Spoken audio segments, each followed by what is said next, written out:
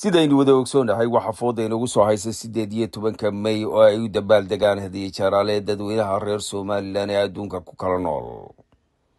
Haddaba dalka kani u k ayaa waxaa ka dhici doona xaflada aada u ballaaran oo ay soo agaasimeen safaaradda jamhuuriyadda somalilan fadhida dalkan u k iyo jaaliyadaha reer somalilan ee ku kala nool gobollada dalka kan iyadoo ay dhowr xafladood ka dhacayaan dalka kani britain haddaba madaxda iyo waxgaradka reer somalilan ayaa iyaguna waxa ay kala qayb qaataan dadka reer somalilan xafladaha ay u dabaaldegayaan haddii jaraale sanad kasta. Magaalada london hitro airport ayaa waxaa ka soo degtay adna aadan dhakhtar oo iyaduna u timi inay kala qayb qaadato jaaliyada reer somalilan ee u k. Xafladaha ay qabanayaan sideed iyo tobanka may. Mar aanu ku kulanay hitro airport ayaa waxa ii sheegtay sida tan adna aadan dhakhtar ayaanu kula kulannay hitro airport tarmaltuuga iyada oo ka soo degaysa maanta uguna tagnay annaga oo ka soconna tv-ga qaranka jamhuuriyadda somalilan waxaan jecelahay in aan bal weydiiyo maanta iyo socdaalkeedan. Waxa uu ku aadan yahay marka hore waa ku soo dhaweynaynaa aad iyo aad baan ku soo dhaweynaynaa waxaana ku leeyahay socdaalkaaga maanta waa maxay?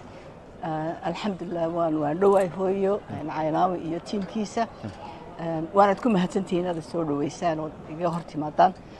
Socdaalkaygu waa hawl waa somaliland. Waad ogtihiinoo sanadkan maanta waxaynu u dabaaldegaynaa saddex iyo soddon sannadood oo aynu dulmigii iyo gardaradii iyo maxaan ku raayay isu taggii khaldanaa ee aynu la gallay soomaaliya aynu ka soo go'nay. Markaa saddex iyo soddon sannadood oo maasha allah nabad bashbash barwaaqo horumar oo somaliland ay gaadhay ayaynu maanta u dabaaldegaynaa waxaynu ilaahay uga mahadnaqaynaa saddex iyo soddonkaa sannadood ee uuna siiyey qaxootigii naga soo celiyey burburkii naga soo celiyey xasuuqii naga badbaadiyey. Uguna mahadnaqno ilaahayna barino in intaa ka dambaysan sidii horeba ilaahay noo garab galay inuu intaa kale inoogu talagalayna ilaahay gargaarka iyo maxaan ku rays aynu ka hellay uu inoogu wado.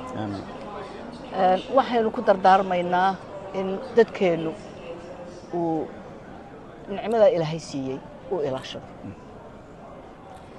Maanta haddii aynaan u dadaalin horumarkeenna haddaynan u dadaalin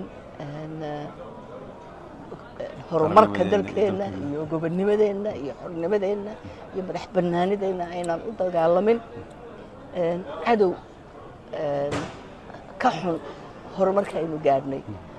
Ayay guulu noqonaysaa markaa guusheennu waxa weeyaan inagoo horumarkaa sii wadna sii ballaadhina walaalnimadeenna waxqadqabsigeenna iyo midnimadeenna adkaysanna si ciddii wanaaggeena ka naxaysaa aanay fursad inooga helin. markaa dardaaranku waxa weeyaan hooyo waddankeennu waa mid insha allah ilaahay inoo wanaajiyey aynu ilaashano